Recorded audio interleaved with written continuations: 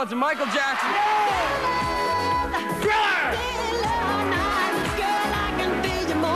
Michael Jackson. Beat it, Michael Jackson.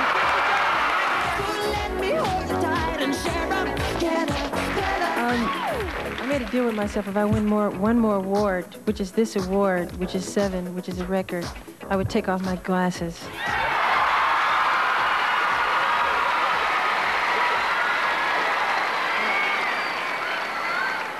Now, I, I don't want to take them off really, but. Uh,